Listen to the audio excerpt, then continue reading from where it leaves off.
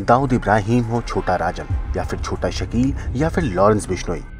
इनके नाम तो आपने बहुत बार सुने होंगे, लेकिन आज हम आपको बताएँगे दो ऐसे गैंग्स के बारे में, जिनके लोगों को आप देखते ही पहचान जाएँगे कि ये कितने खतरनाक गैंग से हैं।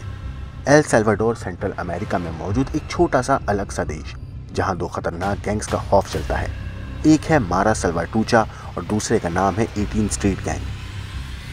ये दो गैंग दुनिया के सबसे खतरनाक गैंग माने जाते हैं। क्योंकि इनके अपराध ऐसे हैं कि सुनकर रूह काँप जाए। इनके खौफ का अंदाज़ा आप इस बात से लगा सकते हैं कि खुद अमेरिका के पूर्व राष्ट्रपति डोनाल्ड ट्रंप ने इन गैंग्स को सबसे ख़तरनाक बताया था। वैसे दो गैंग्स हैं तो अलग अलग लेकिन इनके बीच एक चीज़ कॉमन है, और वो ये है कि आप इन गैंग्स के लोगों को देखते ही पहचान जाएँगे, और वजह है इनके शरीर पर बने हुए ख़तरनाक टैटू।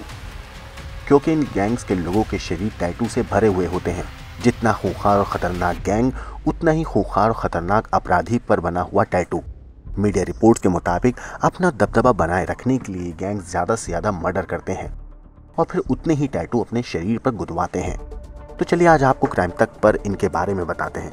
असल में सलवरटूचा गैंग, एक ऐसी गैंग जिसके बारे में कहा जाता है कि उसकी शुरुआत साल 1980 में एम एस के नाम से हुई थी और फिर बेहद खतरनाक अपराधी इस गैंग से जुड़ते चले गए।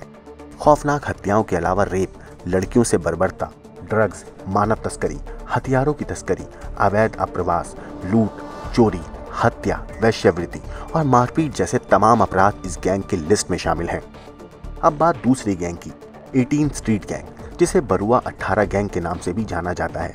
इस गैंग में भी दुनिया भर के लोग जुड़े हुए हैं। खतरनाक हथियार और टैटू इनकी भी पहचान है। इस गैंग में करीब बीस हज़ार अपराधी जुड़े हुए हैं। कहते हैं इस गैंग की शुरुआत साल 1960 में हुई थी। वैसे कहते हैं इस गैंग का ताल्लुक मैक्सिको के माफियाओं से भी जुड़ा हुआ है।